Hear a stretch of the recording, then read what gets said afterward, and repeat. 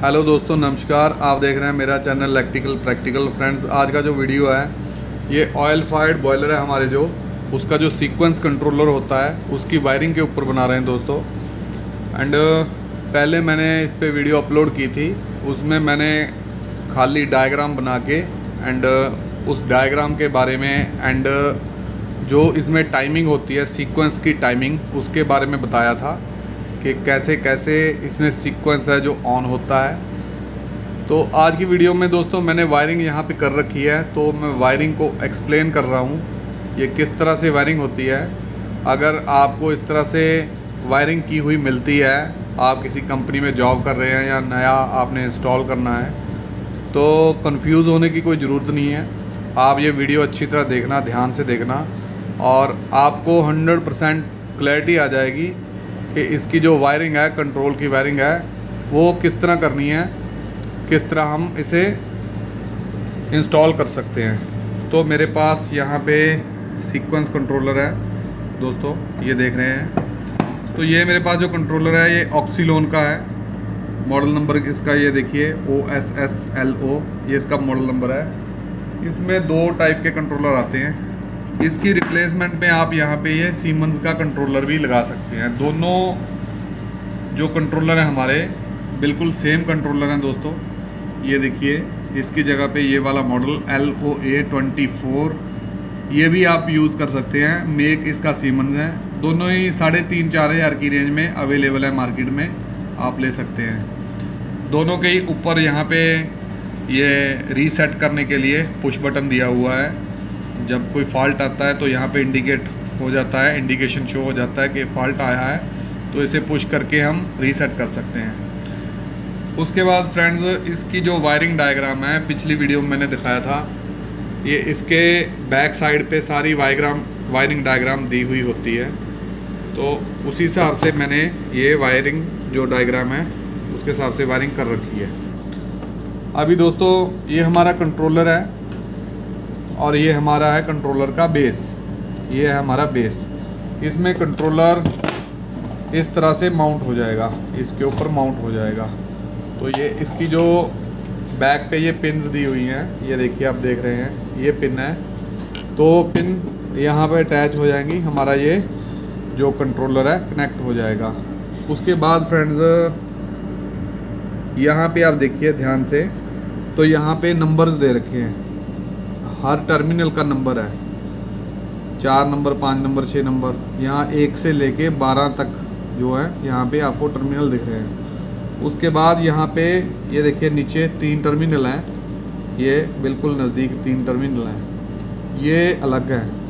तो ये वाला है, यहाँ पे देखिए, हल्का सा सिंबल बना हुआ है। ये अर्थिंग का टर्मिनल है। यहाँ पे आपने अर्थिंग देनी है। इन सभी में अर्थिंग देनी है, दोस्तों। ये चारों पाँचों और ये वाला, दोस्तों, ये न्यूट्रल का है। दो नंबर पे अगर आप न्यूट्रल लगा दोगे तो यहाँ से एक स्टिप लगी हुई है, जो इसके साथ कनेक्ट है। तो यहाँ पे हमारी जो न्यूट्रल है, ये तीनों टर्मिनल्स पे आ जाएगी। दो नंबर पे आपने न्यूट्रल दिया है तो यहाँ तीनों टर्मिनल पे आ जाएगी। उसके बाद एक नंबर पे आपने फ़ेज़ है, जो कनेक्ट करना है। साथ ही साथ इसको देखते रहते हैं हम डायग्राम को। यहाँ पे हम देख सकते हैं। यहाँ पे देखिए जो एक नंबर है ये देखिए। एक नंबर पे यहाँ पे लाइन दिखा रखा है तो ये देखिए, एक नंबर पे लाइन दो नंबर पे न्यूट्रल यहाँ पे। उसके बाद दोस्तों, ये जो आठ नंबर है और तीन नंबर है, इसमें लगेगा स्विच यहाँ पे स्विच शो हो रखा है तो यहाँ पे लगेगा एक स्विच जो हमारा सीक्वेंस कंट्रोलर है, उसके सीक्वेंस को ऑन करवाएगा। जो हमारा कंट्रोलर के सीक्वेंस को स्टार्ट करेगा। इसे हमने यहाँ पे एक पुश बटन या स्विच दोनों ही लगा सकते हैं दोस्तों। तो ये हो गई हमारी न्यूट्रल एंड फेस की वायरिंग जो मैंने यहाँ पे कर रखी है। ये एक नंबर एंड दो नंबर यहाँ पे फ़ेज़ है, और यहाँ पे ये हमारा न्यूट्रल है। उसके बाद दोस्तों ये तीन नंबर और ये हमारी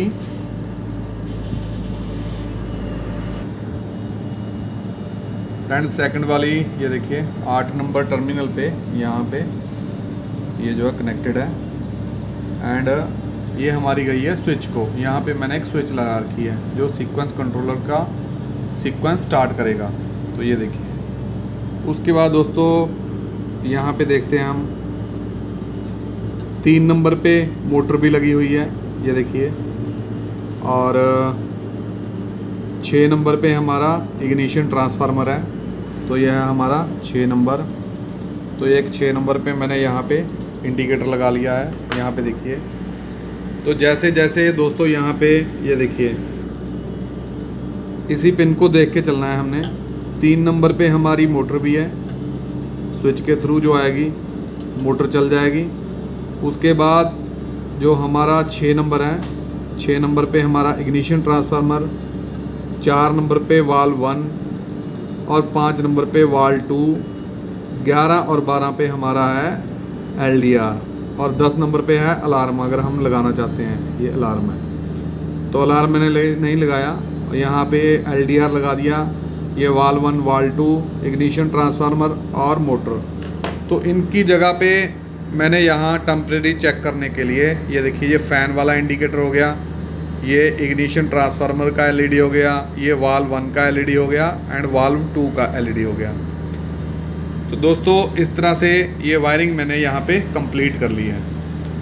उसके बाद हम कंट्रोलर लगाएँगे और चला के देखेंगे कि सीक्वेंस कंट्रोलर हमारा चल रहा है कि नहीं।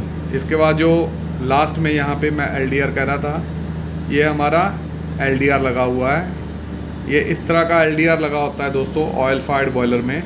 तो ये लाइट डिपेंडेंट रजिस्टर इसे बोलते हैं। जैसे ही इसके ऊपर लाइट पड़ेगी, जैसे अभी ये रोशनी में है तो इसकी जो रेजिस्टेंस है, वो कम हो जाएगी।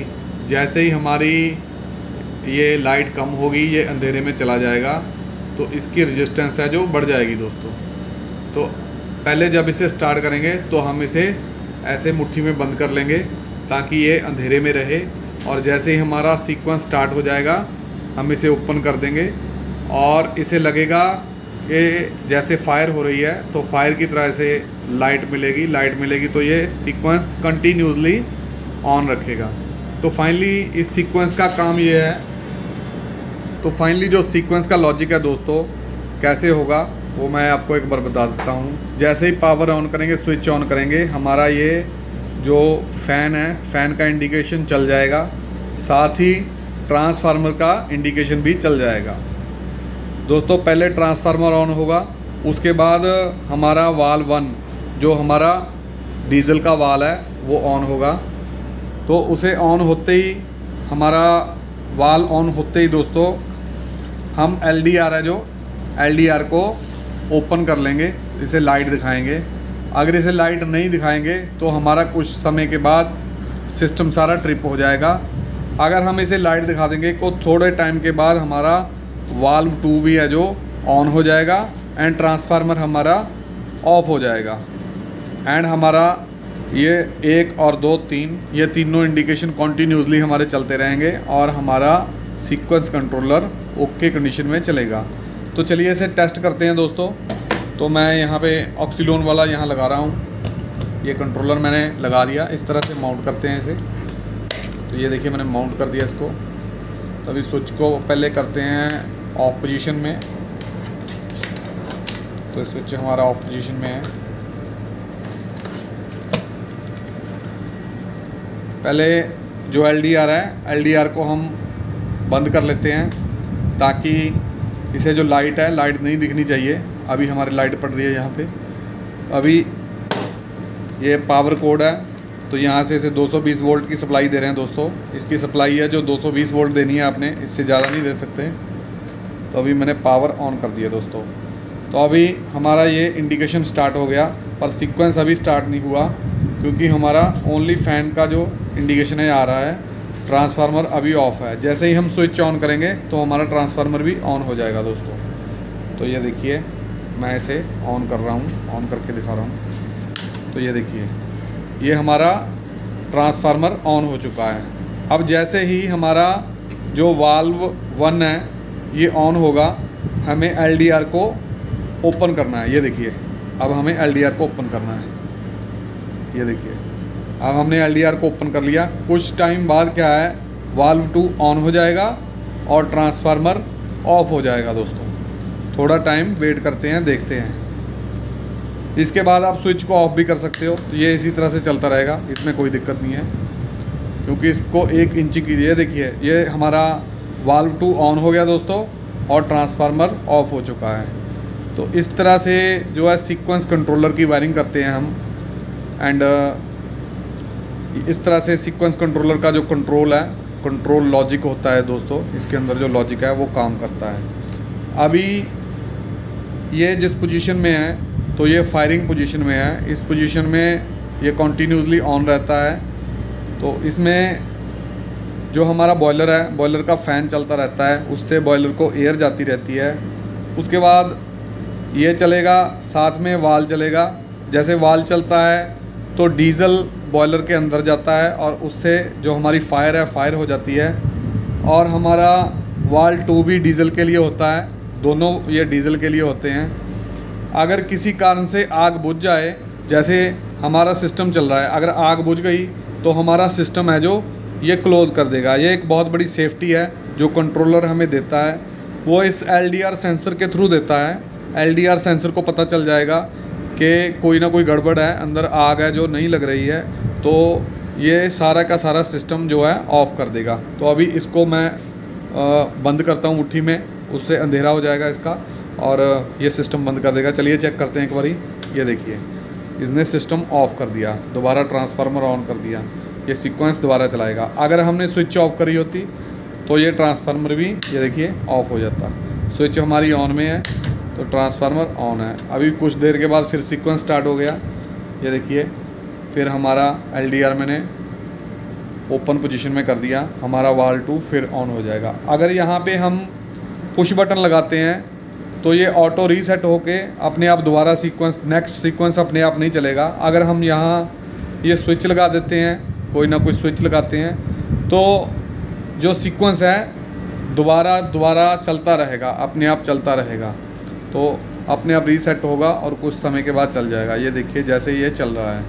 तो अगर हम इसे स्विच को ऑफ़ कर देते हैं तो ये सारा सिस्टम ऑफ़ हो जाएगा दोस्तों।